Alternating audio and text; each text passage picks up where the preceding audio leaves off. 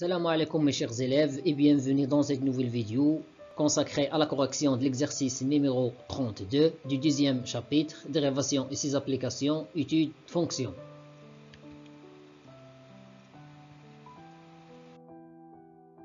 Dans cette vidéo, on va voir la correction complète d'un exercice concernant l'étude fonction. Vous pouvez arrêter la vidéo pour consulter les détails de cet exercice.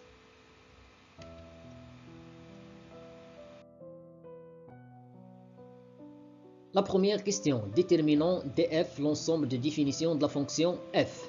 On a f de x égale x plus 1 moins la racine carrée de x carré moins x moins 2. Puisque l'expression de la fonction f contient la racine carrée, alors f est définie si seulement si l'expression qui se trouve sous cette racine est positive, c'est-à-dire x au carré moins x moins 2 supérieur ou égal à 0. Alors, pour déterminer l'ensemble de définitions de notre fonction, il suffit d'étudier le signe de x au carré moins x moins 2. Pour cela, on va calculer le discriminant delta égale à b carré moins 4ac, tel que b c'est le nombre moins 1, a c'est le nombre 1 et c c'est le nombre moins 2. Donc, on trouve moins 1 tout au carré, moins 4 fois 1 fois moins 2, moins 1 tout au carré c'est 1, moins 4 fois 1 fois moins 2 c'est 8. 1 plus 8 égale à 9. Puisque delta est supérieur strictement à 0, alors le trinôme x au carré moins x moins 2 admet deux racines différentes, x1 et x2, telles que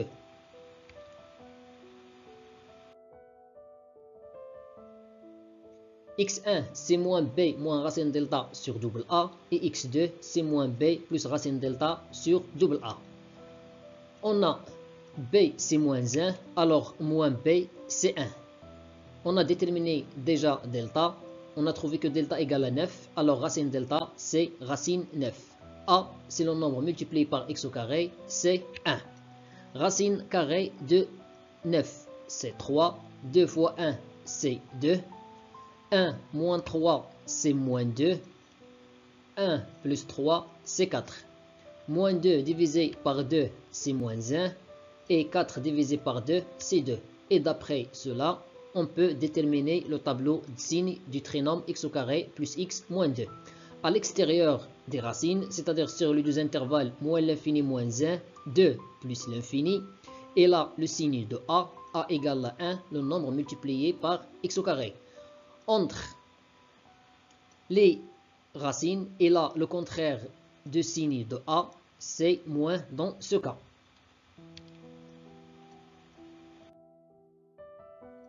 Alors, d'après le tableau de signes précédent, on déduire que df, l'ensemble de définition de la fonction f, est la réunion des deux intervalles, moins l'infini moins 1, fermé en moins 1, 2 plus l'infini, fermé en 2.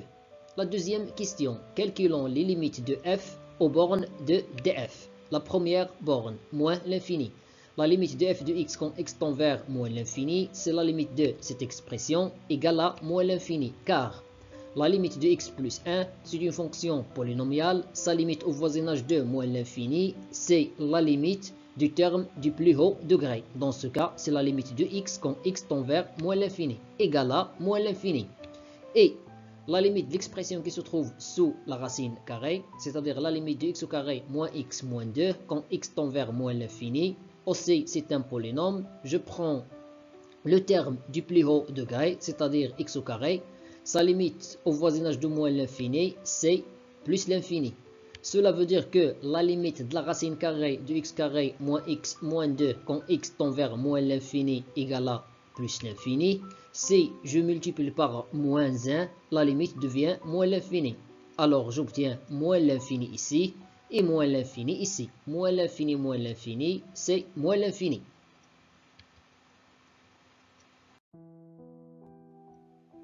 La deuxième borne, la limite de f de x quand x tend vers moins 1 à gauche. C'est la limite de cette expression. Il suffit de remplacer x par moins 1. Sous la racine, c'est pas la peine de refaire les calculs, puisque moins 1, c'est une racine de ce polynôme, le polynôme qui se trouve sous la racine carrée. Alors, ici, c'est 0. Donc, on trouve racine carrée de 0. Et Ici, je remplace x par moins 1. Moins 1 plus 1, c'est 0. Racine carrée de 0, c'est 0. 0 moins 0, c'est 0. La limite de f de x quand x tend vers 2 à droite. C'est la limite de cette expression. C'est de la même manière, je remplace par 2. Ici, aussi, c'est pas la peine de calculer car 2 c'est une racine de ce polynôme, le polynôme qui se trouve sur la racine carrée. Donc les calculs nous donnent 0. Et 2 plus 1 c'est 3. Racine 0 c'est 0. 3 moins 0 c'est 0.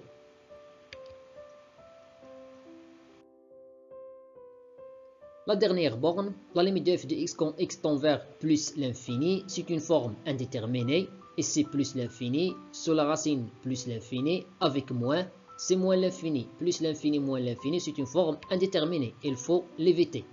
Alors je change les places de 1 et de la racine, la somme est commutative dans R. Après, ici, j'essaie d'éliminer la forme indéterminée. Pour cela, on va multiplier par le conjugué. Le conjugué de A moins B, c'est A plus B. J'ai multiplié par cette expression, alors je dois diviser par la même expression. Le nominateur sous la forme de l'identité remarquable numéro 3, A carré moins B carré, est toujours plus 1. Le dénominateur, aucun changement. Alors, ici x au carré et ici, j'évite la racine carrée. Remarquez que j'ai utilisé les parenthèses, car la racine carrée est précédée d'un signe moins.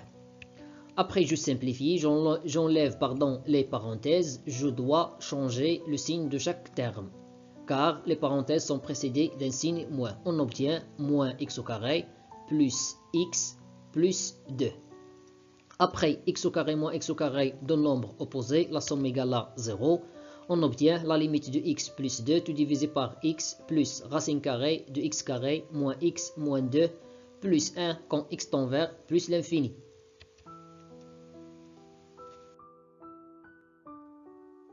Aussi, c'est une forme indéterminée. Pour l'éviter, on va factoriser au nominateur et au dénominateur. Pour le nominateur, on va factoriser par x. On trouve x multiplié par 1 plus 2 sur x. Pour le dénominateur, sous la racine, je factorise par x au carré. J'obtiens x au carré multiplié par 1 moins 1 sur x moins 2 sur x au carré. Après, j'utilise la propriété racine a fois b égale la racine a fois racine b. Bien sûr que a et b sont positifs.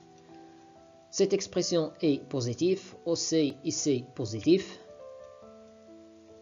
Alors, on sait que la racine carrée de x carré, c'est la valeur absolue de x.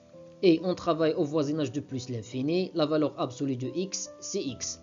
Après, on va factoriser par x au dénominateur. On obtient x multiplié par 1 plus racine carrée de 1 moins 1 sur x moins 2 sur x au carré. Après, on va simplifier par x au nominateur et au dénominateur. Il nous reste la limite de cette expression. D'où la limite de f de x quand x tend vers plus l'infini, c'est la limite de 1 plus 2 sur x tout divisé par 1 plus racine carrée de 1 moins 1 sur x moins 2 sur x au carré plus 1.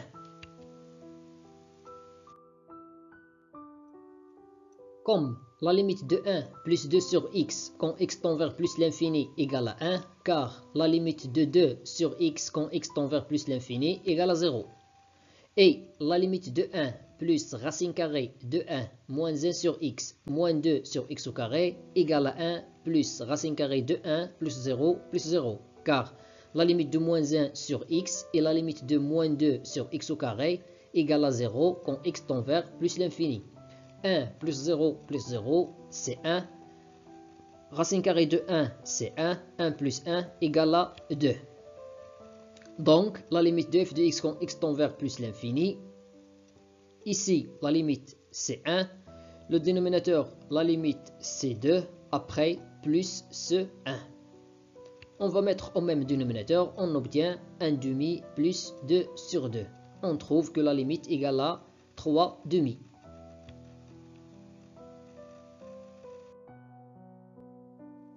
La troisième question, étudions la dérivabilité de la fonction f en moins 1 à gauche et en 2 à droite, puis interprétons géométriquement les résultats obtenus. Pour l'étude de la dérivabilité en moins 1 à gauche, on doit calculer la limite de f de x moins f de moins 1 sur x moins moins 1, quand x tend vers moins 1 à gauche. Pour calculer f de moins 1, il suffit de remplacer x par moins 1 dans l'expression de la fonction f. Ici, ce n'est pas la peine de calculer, puisque moins 1 c'est une racine de ce polynôme. Alors, on trouve racine carrée de 0. Moins 1 plus 1 au c, c'est 0. Racine carrée de 0, c'est 0. 0 moins 0, c'est 0 alors on trouve la limite de x plus 1 moins racine carrée de x carré moins x moins 2, tout divisé par x plus 1 quand x tend vers moins 1 à gauche. Après, on va séparer la fraction.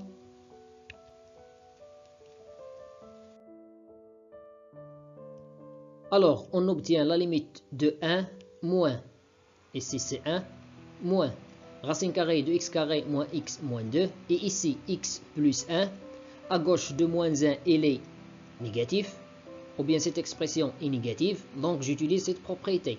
x égale à moins racine carrée de x carré, c'est x est négatif. À gauche de moins 1, cette expression est négative, alors égale à moins racine carrée de x plus 1, tout au carré. Après, moins 1, pardon, moins moins, c'est plus, et racine carrée de a sur racine carrée de b égale à racine carrée de a sur b.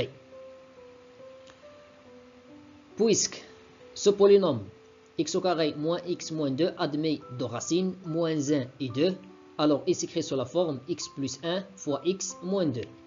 Et je simplifie par x plus 1, je trouve x moins 2 sur x plus 1, bien sûr sous la racine carrée.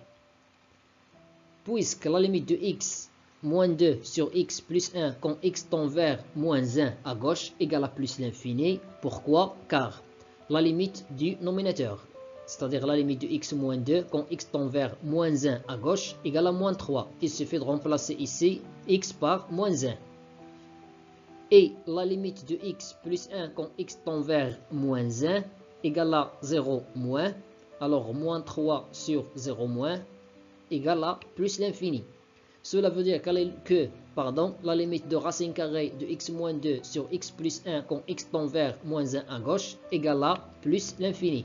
Par suite, si j'ajoute 1, rien ne change. La limite reste plus l'infini.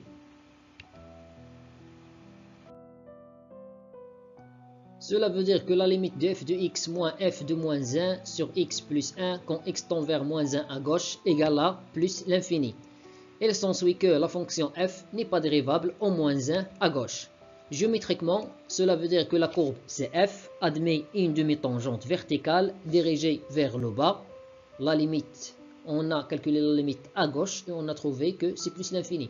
Dirigée vers le bas au point d'abscisse moins 1, d'ordonner l'image de moins 1 par la fonction f, c'est 0, et d'équation x égale à moins 1 et y inférieur ou égal à 0. Le deuxième cas, l'étude de la dérivabilité à droite en 2, c'est-à-dire la limite de f de x moins f de 2 sur x moins 2 quand x tend vers 2 à droite. Ici, pour calculer l'image de 2 par la fonction f, il suffit de remplacer x par 2. On trouve ce résultat.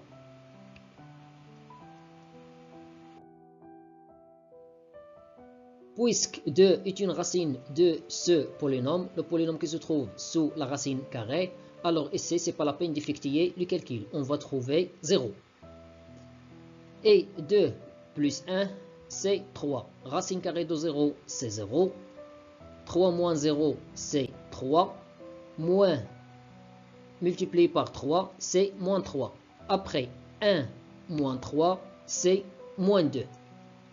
L'étape suivante, on va tout simplement séparer la fraction. On trouve ces deux fractions. x-2 sur x-2, c'est 1. Et ici, x-2, elle est positive à droite de 2. Donc, x-2 égale à la racine carrée de x-2 au carré. Après, j'utilise une seule racine carrée. Racine carrée de a sur racine carrée de b égale à racine carrée de a sur b.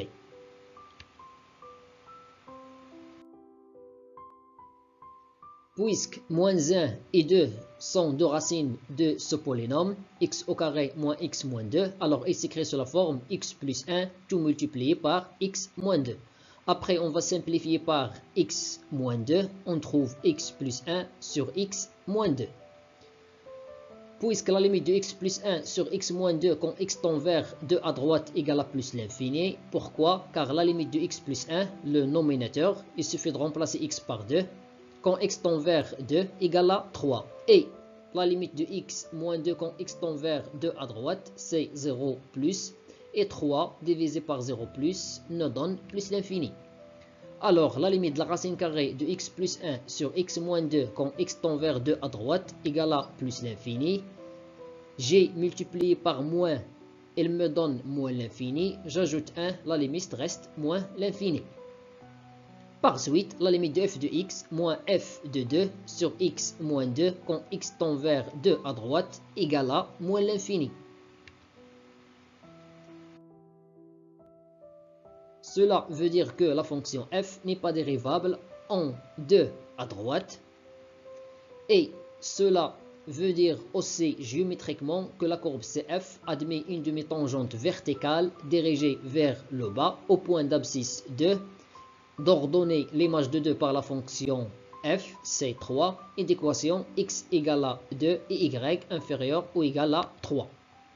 La quatrième question, calculons f' de x pour 2x de df sauf les deux nombres moins 1 et 2. On a f de x égale à x plus 1 moins la racine carrée de x carré moins x moins 2. La fonction définie par x plus 1 est dérivable sur R car c'est une fonction polynomiale, alors elle est dérivable sur les deux intervalles ouverts, moins l'infini moins 1 et 2 plus l'infini.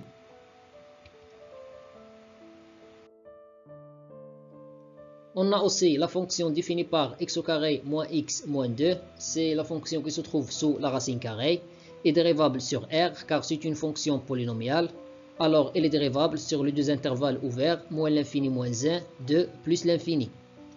Et, quel que soit x appartient à la réunion de ces deux intervalles ouverts, x au carré moins x moins 2 supérieur strictement à 0. Cela, c'est d'après le tableau de signe de ce trinôme.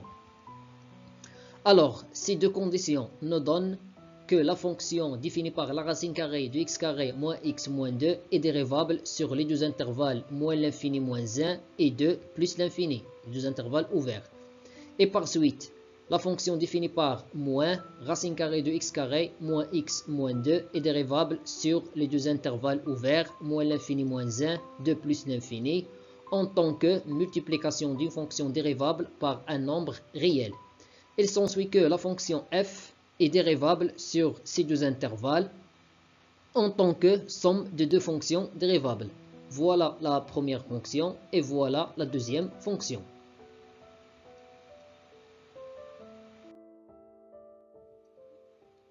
Et on a pour 2x de la réunion des deux intervalles moins l'infini moins 1, 2 plus l'infini. La dérivée de f, c'est la dérivée de cette expression c'est la dérivée de x plus 1 plus la dérivée de moins racine carrée x carré moins x moins 2. La dérivée de x, c'est 1. La dérivée de 1, c'est 0. Et ici, il s'écrit sous la forme k fois f. Sa dérivée, c'est k fois la dérivée de f. Et pour calculer la dérivée ici, on va utiliser la propriété. La dérivée de la racine carrée de f, c'est la dérivée de f sur 2 racine carrée de f. Donc, on obtient la dérivée de x carré moins x moins 2, tout divisé par 2 racine carrée de x carré moins x moins 2. La dérivée de x carré, c'est 2x. La dérivée de moins x, c'est moins 1. La dérivée de moins 2, c'est un nombre réel. Sa dérivée égale à 0. Après, on va mettre au même dénominateur, on trouve cette expression. Alors, quel que soit x appartient à la réunion des deux intervalles ouverts, moins l'infini moins 1 de plus l'infini, f' de x égale 2 racine carrée de x carré moins x moins 2 moins 2x moins 1. Tout divisé par 2 racine carrée x carré moins x moins 2. La quatrième question montrant que, que quel que soit x appartient à l'intervalle ouvert moins l'infini moins 1, f' de x est strictement positif. Et que, quel que soit x appartient à l'intervalle ouvert de plus l'infini, f' de x est inférieur strictement à 0. Puis, dressons le tableau de variation de la fonction f.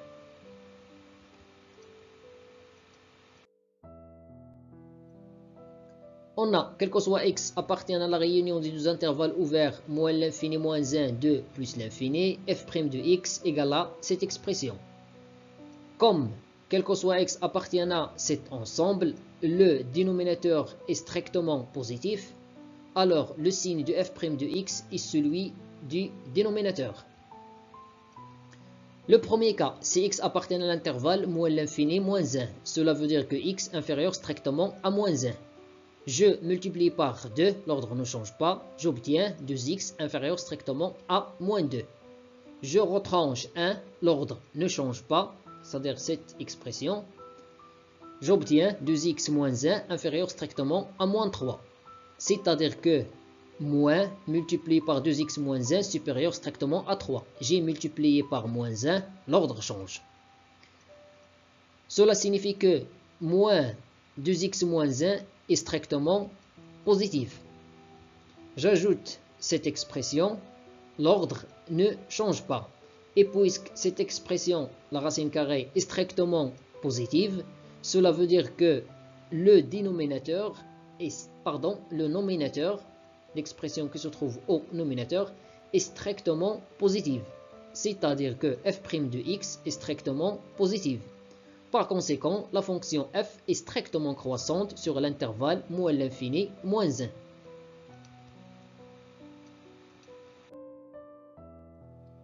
Le deuxième cas, si x appartient à l'intervalle ouvert de plus l'infini.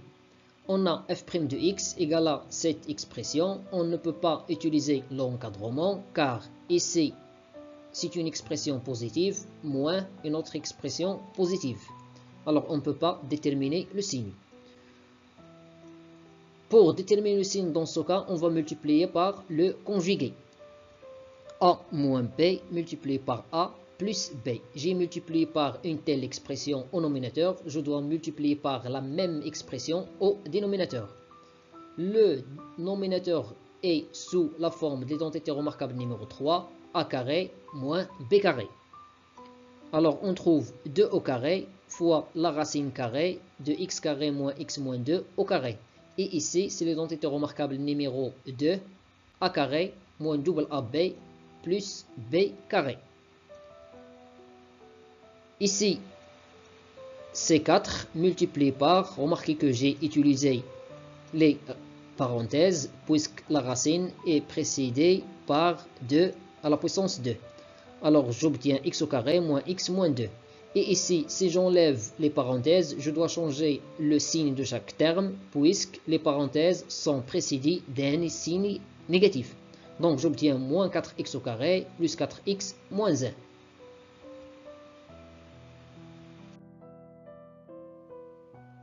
On va développer ici, on obtient 4x au carré moins 4x moins 8. On remarque qu'on a des expressions opposées, alors il faut les simplifier. 4x au carré moins 4x au carré, moins 4x, 4x. Donc on obtient moins 9 sur l'expression qui se trouve au dénominateur. D'où, quel que soit x appartient à l'intervalle ouvert de plus l'infini, f' de x égale à cette expression. Comme quel que soit x appartient à l'intervalle ouvert de plus l'infini, 2 fois la racine carrée de x carré moins x moins 2 est supérieur strictement à 0 et aussi 2x moins 1 est strictement positive sur cet intervalle, j'ajoute la racine carrée reste strictement positive. Cela signifie que f' de x est strictement négatif, car moins 9 négatif. Moins 9 négatif sur positif nous donne négatif. Et par suite, la fonction f est strictement décroissante sur l'intervalle 1 plus l'infini. Et voilà le tableau de variation de la fonction f. Puisque la fonction f' est strictement positive sur l'intervalle moins l'infini moins 1, alors f est strictement croissante sur cet intervalle. Et f' est strictement négative sur l'intervalle 2 plus l'infini, alors f est strictement décroissante sur cet intervalle. On a déjà calculé la limite au voisinage de moins l'infini, on a trouvé que c'est moins l'infini, l'image de moins 1 c'est 0, l'image de 2 c'est 3, la limite de f de x quand x tend vers plus l'infini, c'est 3 demi. La question suivante, la sixième question, déterminons l'équation de d asymptote oblique à la courbe CF au voisinage de moins l'infini. On a la limite de f de x quand x tend vers moins l'infini égale à moins l'infini. Alors, on va passer à calculer la limite de f de x sur x quand x tend vers moins l'infini. C'est la limite de cette expression. Après, on va séparer la fraction. On trouve la limite de x sur x plus 1 sur x moins racine carrée de x carré moins x moins 2, tout divisé par x. Ici, elle nous donne 1. Ici, la limite c'est une forme indéterminée, il faut l'éviter. Pour cela, on va factoriser sous la racine carrée par x carré. On trouve x carré multiplié par 1 moins 1 sur x moins 2 sur x au carré. Après, on va utiliser la propriété racine carrée de A fois B, c'est racine carrée de A fois racine carrée de B. Bien sûr, sous la condition que A et B sont positifs. On sait que la racine carrée de x carré, c'est la valeur absolue de x. Et puisqu'on travaille au voisinage de moins l'infini, la valeur absolue de x égale à moins x. On va simplifier x et x au nominateur et au dénominateur. Après moins moins, c'est plus. Donc, on obtient la limite de 1 plus 1 sur x plus la racine carrée de 1 moins 1 sur x moins 2 sur x au carré quand x tend vers moins l'infini. Comme la limite de 1 plus 1 sur x quand x tend vers moins l'infini égale à 1, car la limite de 1 sur x quand x tend vers moins l'infini c'est 0, et aussi la limite de 1 moins 1 sur x moins 2 sur x au carré égale à 1 quand x tend vers moins l'infini, car la limite ici nous donne 0, aussi 0. Cela veut dire que la limite de la racine carrée de 1 moins 1 sur x moins 2 sur x au carré, quand x tend vers moins l'infini, c'est 1. Donc la limite de cette expression, c'est 2, car ici 1 et ici 1.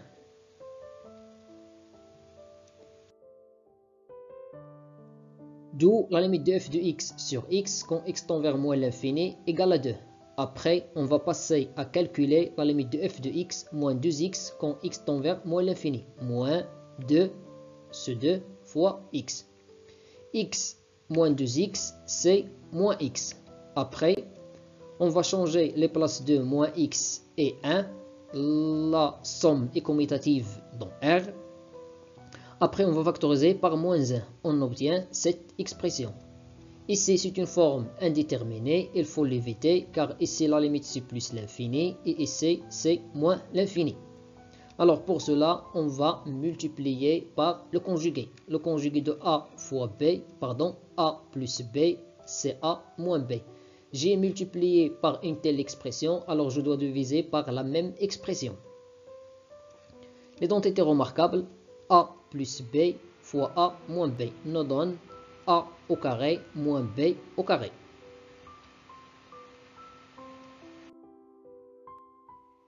On trouve la limite de cette expression. L'étape suivante, on va éviter les parenthèses sans précéder d'un signe négatif. Alors on doit changer le signe de chaque terme. On obtient moins x au carré plus x plus 2. x au carré moins x au carré, deux nombres opposés. La somme égale à 0. Donc on trouve cette limite. Après, pour éviter la forme indéterminée ici, on va factoriser au nominateur et au dénominateur. On trouve x multiplié par 1 plus 2 sur x. Au dénominateur, on va factoriser par x au carré.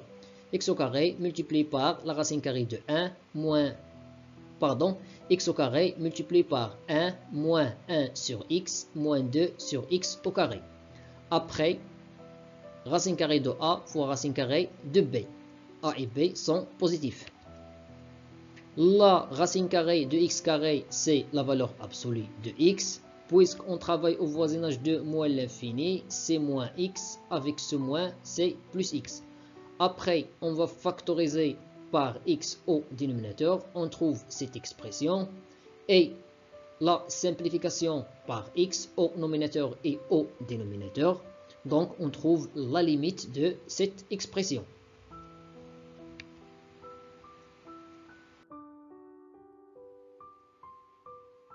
Donc, la limite de f de x moins 2x quand x tend vers moins l'infini, c'est la limite de 1 moins 1 plus 2 sur x, tout divisé par 1 plus racine carrée de 1 moins 1 sur x moins 2 sur x au carré quand x tend vers moins l'infini. Puisque la limite de 1 plus 2 sur x, c'est-à-dire la limite de cette expression, égale à 1, car la limite ici égale à 0. Et la limite de cette expression égale à 1, car la limite ici c'est 0 et la limite ici aussi 0.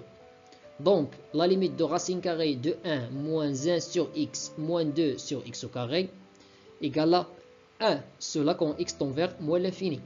Si j'ajoute 1, la limite devient 2. Donc, la limite de f de x moins 2x quand x tend vers moins l'infini égale à 1, ce 1, moins. Ici, la limite, on a trouvé qu'il est égal à 1. Le voilà. Le dénominateur, on a trouvé que sa limite, c'est 2. Le voilà. 1 moins 1 demi, c'est 2 sur 2 moins 1 demi égale à 1 demi.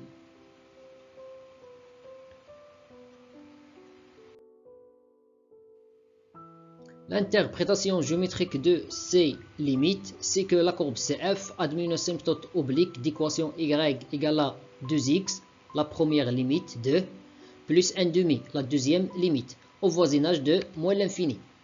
La septième question, traçons dans le repère la courbe représentative CF.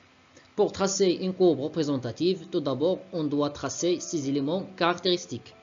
D'après l'exercice, on a la droite D d'équation y égale à 2x plus 1 demi est une, asymptote oblique à la courbe CF au voisinage de moins l'infini. Et on sait que pour tracer une droite, on a besoin de deux points. Premier point, je choisis x égale à 0, j'obtiens y égale à 1 demi. Le deuxième point, je choisis x égale à moins 1 demi, j'obtiens y égale à moins 1 demi. Aussi, d'après l'exercice, la courbe CF admet une demi-tangente verticale dirigée vers le bas au point A au point A de coordonnées moins 1, 0 et d'équation x égale à moins 1, y inférieur ou égal à 0. Aussi, la courbe CF admet une demi-tangente verticale dirigée vers le bas au point B de coordonnées 2, 3 et d'équation x égale à 2 et y inférieur ou égal à 3.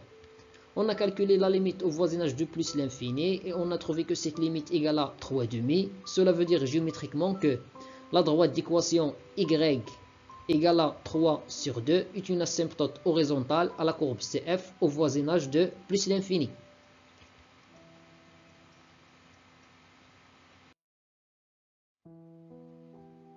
Alors voilà les éléments caractéristiques de notre courbe.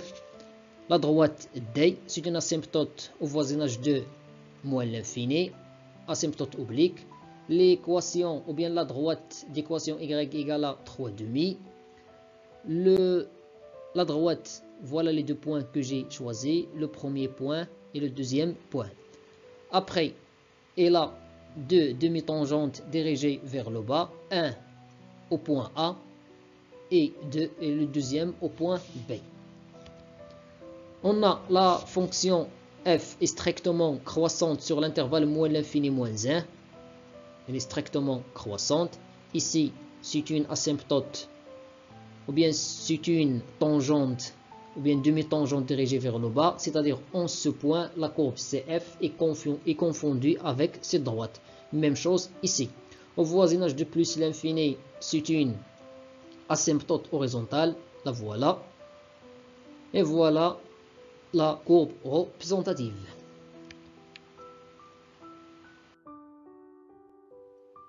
La dernière question. Résolvons graphiquement l'inéquation x plus 1 supérieure strictement à la racine carrée de x carré moins x moins 2. On a cette équation équivaut à x plus 1 moins racine carrée de x carré moins x moins 2 supérieur strictement à 0. Et cette expression, c'est l'expression de f de x. Donc, cette équation équivaut à f de x supérieur strictement à 0. Cela signifie géométriquement f de x, c'est la courbe CF, 0, c'est l'axe des abscisses.